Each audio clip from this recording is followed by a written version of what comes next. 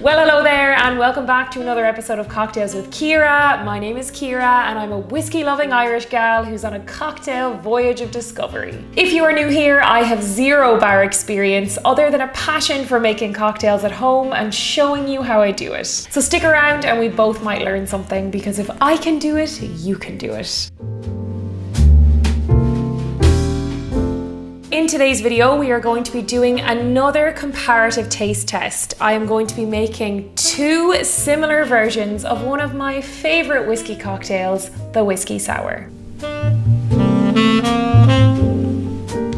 The reason that I am making two different versions of the whiskey sour today is because recently I made a whiskey sour for the very first time with something called aquafaba. Aquafaba is more commonly known as chickpea juice and when someone first told me that I could use chickpea juice in a whiskey sour, I didn't really know what to think. It's really not something that I associate with a cocktail. If you watched one of my recent vlogs where I went to County Clare, I made a heap of whiskey sours for some of my friends using aquafaba and it actually went quite well. But I figure that the only way to properly figure out whether I personally prefer an egg white or aquafaba in my whiskey sours would be to do a scientific test using an egg white whiskey sour as a control and an aquafaba whiskey sour and then comparing the two. So that my friends is exactly what I am here to do today. I am going to make both cocktails with exactly the same ingredients, the same same whiskey with the same method. I'm gonna shake them for the same amount of time. And the only difference is going to be one is gonna be with egg white and one is going to be with chickpea juice. And then I will be able to figure out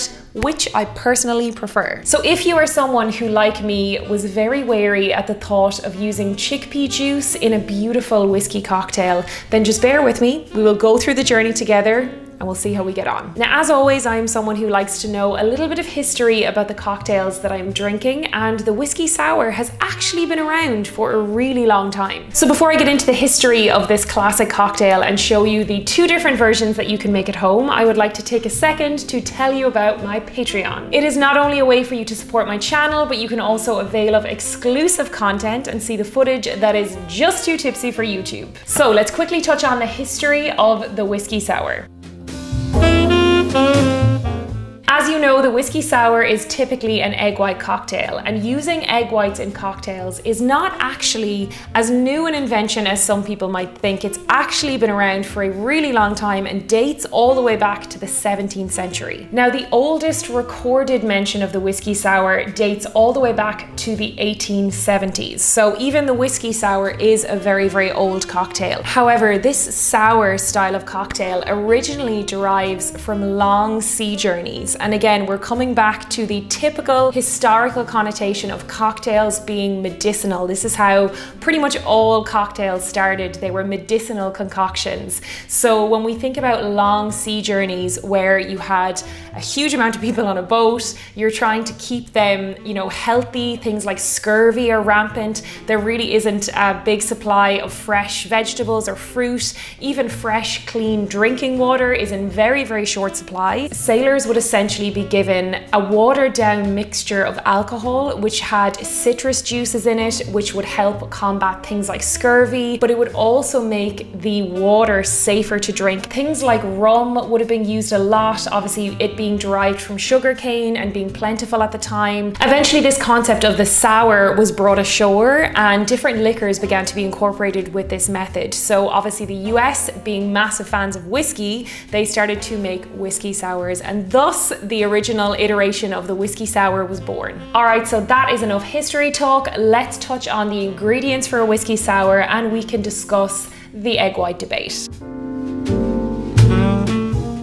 Despite how fancy it looks, the whiskey sour is actually comprised of very simple ingredients and many of them will probably be in your kitchen already. We're gonna start with our whiskey. I'm gonna be using Bulleit bourbon for this cocktail. You can use rye as well and it is lovely, but for this one, I'm gonna use Bulleit bourbon, which is a bourbon that I absolutely love. To give it that tart sweetness, we're also going to be including some freshly squeezed lemon juice. We are also going to be using some simple syrup. This is super easy to whip up. I will leave the info in the description below. We are also going to be using some of my absolute favorite Luxardo maraschino cherries for a garnish. And then that brings us to the foaming agent in the cocktail. So traditionally people use an egg white to achieve this. Now some people are nervous at the thought of adding an egg white in their cocktail, either because they are vegan or because they are worried about the bacteria. But if you are working with fresh eggs that you're keeping refrigerated, the chances of contracting salmonella through your whiskey sour are extremely slim. So for those of you who are in that category, we have a fabulous alternative in the form of chickpea juice. Chickpea juice, which is also known as aquafaba, is the leftover cooking liquid from canned chickpeas. And I know it doesn't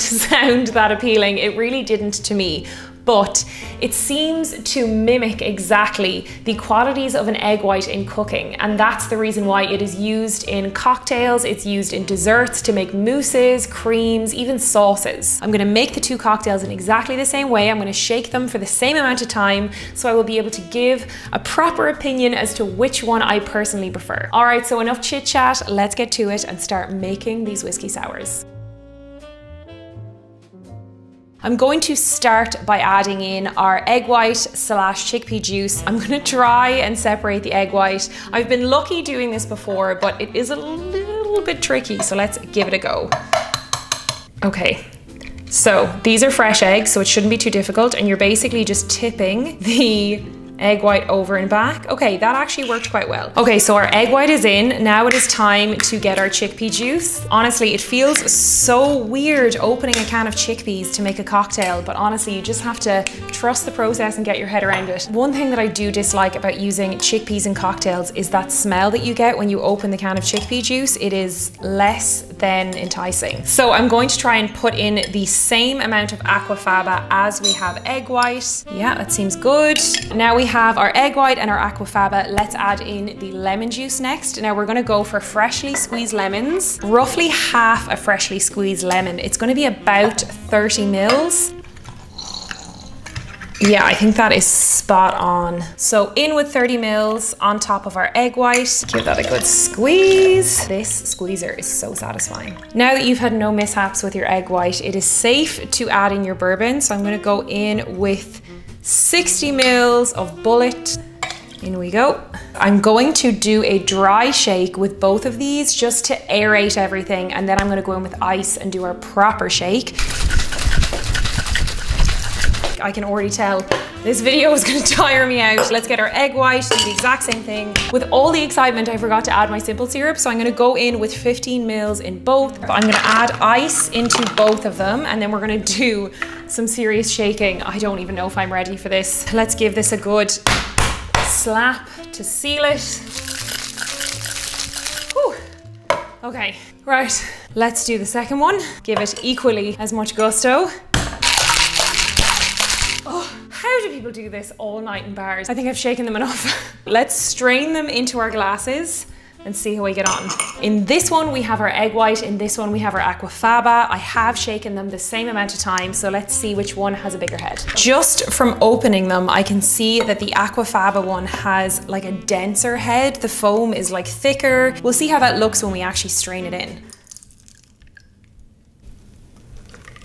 Trying to get the last bit of foam so just by looking at them, you can definitely see that the Aquafaba whiskey sour has a lot more head on it. The foam is definitely denser. The egg white whiskey sour, which I did put just as much effort in shaking, is still perfect. It just reaches just below the line of the glass, but it's not as foamy. More importantly is how they taste. So really quickly, just before we serve, I'm just gonna do a cherry garnish because you know it's my absolute favorite. Let's bring them over to the Dr. Evil chair, try them and figure out this once and for all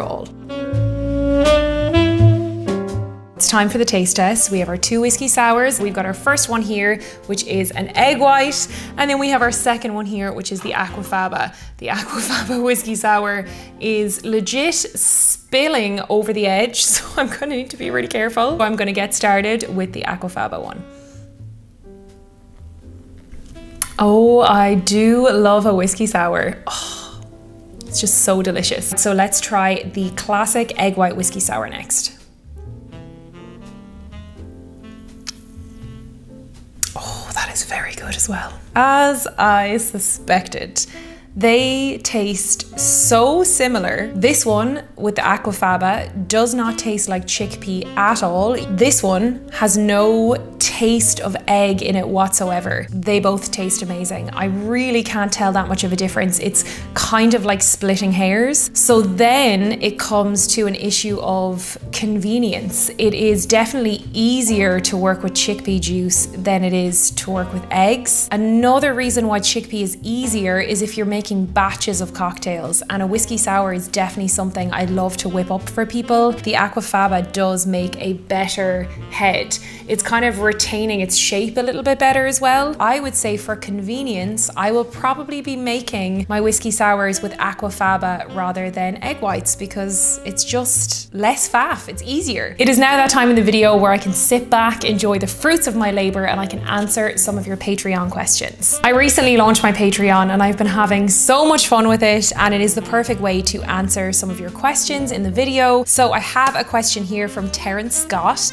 and Terence asks, how did the try opportunity come about? How do you feel about the legend status you've earned in the Try community? Let me just take a sip and I'll think about that.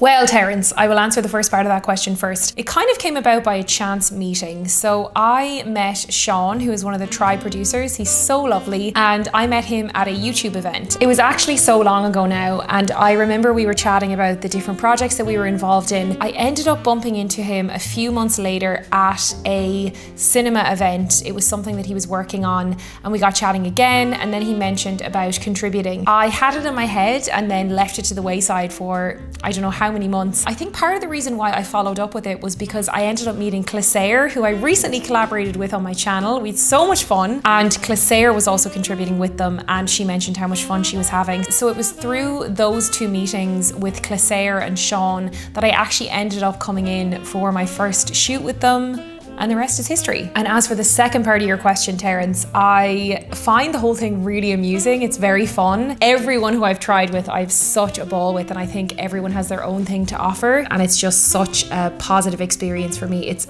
such crack. So there you have it. That is my two ways of making a whiskey sour. I hope that if you are someone who is very dubious about using chickpea juice, that maybe I've convinced you to give it a try.